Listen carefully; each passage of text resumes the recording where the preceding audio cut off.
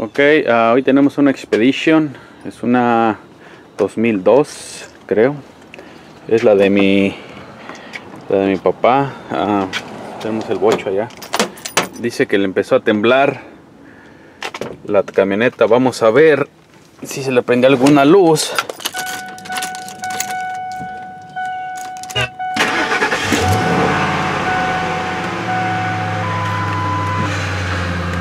Y sí, tiene la, la luz de encendido prendida.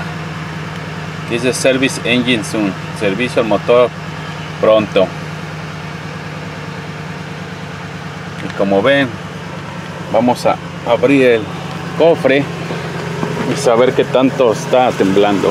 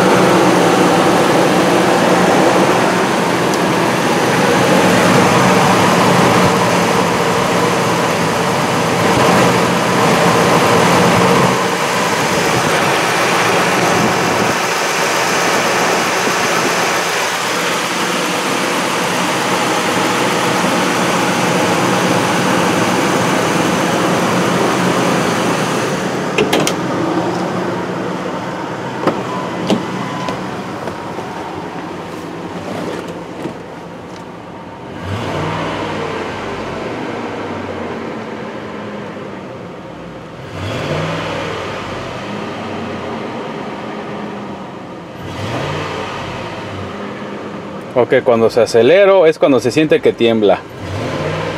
Ahí está. Ok. Vamos a poner el escáner. El escáner pueden conseguirlo en cualquier parte, barato. Hay escáner en las Walmart que venden también baratos. Lo único que necesitamos saber con el escáner es para que nos dé el, el código que tiene. Déjenme ver dónde está. Aquí está nomás conectamos el escáner no tienen que tener un escáner lujo caro nada más lo que necesitamos saber el código ya teniendo el código entonces lo checamos en internet qué es lo que significa. Ok tenemos un código P0303 que significa que hay un problema en el cilindro 3 ya sea que algo esté malo como una bujía como un la bobina o algo que esté pasando con el cilindro 3 pues entonces vamos a quitar bueno voy a quitar la ese lado del pasajero la tercera em, empezando de, de donde está el radiador hacia atrás en la tercera bujía. Pero más miren aquí está el, el diagrama. 1 2 3 es la tercera. Ok so vamos a dar un poco de voy a dar un poco de, de imagen ahí abajo a ver qué está pasando. Miren de ahí donde está el cilindro 3 pero mi sospecha es otra porque ya mirando con la luz ahí nomás por encima antes sin, sin quitar nada todavía me di cuenta que estaba mojado ahí abajo. Déjenles enseño y les muestro qué, qué es lo que encontré por acá. En, en este caso todavía no quito nada de bujías ni nada Solamente anduve inspeccionando por afuera, siempre me gusta ver si hay un cable roto o algo. Y me di cuenta que está este riel, por el riel del lado de las bujías de inyectores acá, por abajo. Miren, está todo mojado. Mi papá me había dicho que ya anteriormente, años pasado, siempre le cambiaban casi la misma bujía y la bobina porque dicen que cuando llovía pasaba un charco y se mojaba.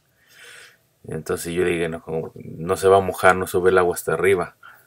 Entonces lo que me di cuenta es de que era antifreeze, o sea, anticongelante.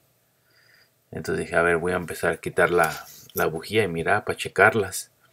Ya hice para un lado todo lo de arriba porque pues voy a tener que quitar todo. Pero miren, no te les voy a enseñar, voy a quitar nomás una de las bobinas para que vean como, como está mojada de anticongelante. Ok. Dejen nada más me hago aquí para un ladito.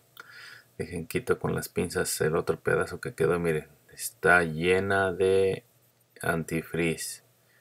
¿Qué quiere decir con esto? Entonces el problema es que todas las bujías de este lado, del lado del pasajero, están llenas de, de. Eso quiere decir que el empaque del antifreeze, el, el empaque de la araña, que es la que está ahí, lleva antifreeze. Entonces los empaques están dañados, están quebrados de un lado y hay que reemplazarlos. Ese es un buen trabajo para quitar todo eso, pero en este video solamente les quise mostrar cuál fue el problema del, check engine, de la, de la, luz del motor, que dice que está a, un problema con los cilindros. Eso es porque está mojando las bujías, bueno, no las bujías, sino las bobinas y no está haciendo la chispa correctamente. Antes, no quite, si saben que las bujías estén, están mojadas, no las quiten. Hay que sopletear todo para sacar afuera. Lo voy a enseñar en otro video cómo lo hice para quitar todo. Voy a mostrar todo cómo lo hice y cómo lo puse, ¿ok? Esperen el otro